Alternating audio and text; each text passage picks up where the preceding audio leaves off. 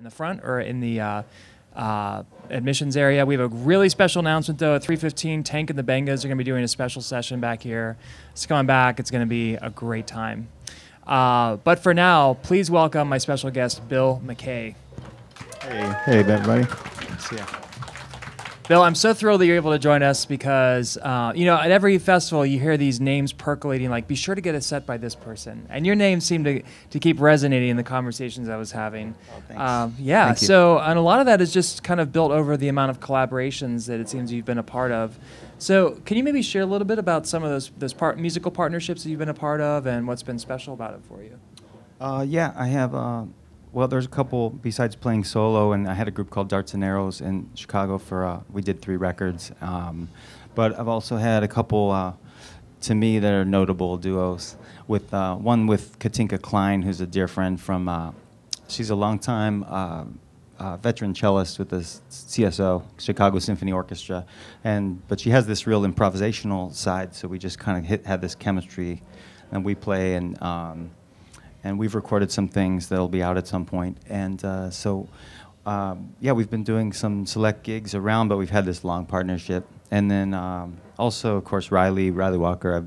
I have two albums of uh, guitar based. Actually, I don't even really use that term, guitar music. It's just music, but um, guitar based music. Um, we have two records uh, together, and then we've done other collaboration on uh, other records as well, but those two. So that's a, I think we've been playing three years now together, and um, and that's a really special collaboration too. And there's there's others, but those are the two that come to mind right now that I've spent the most time on. Yeah. And uh, Jude Ryley connected in Chicago. You're, you're originally from Pittsburgh.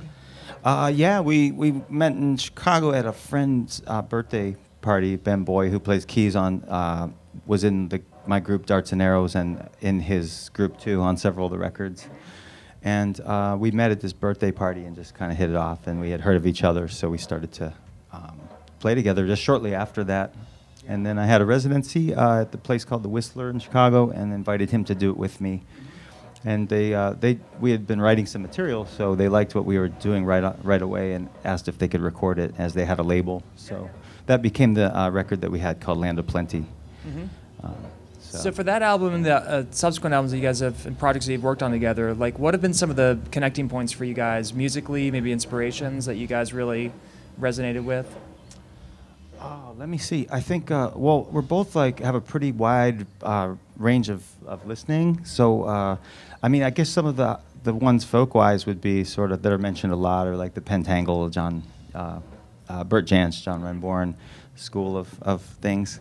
Um, but I think there's so many others too. You know, going back whether it's My, Bloody Valentine or it's uh, uh, uh, John Coltrane. You know, Ryley listens to lots of stuff too.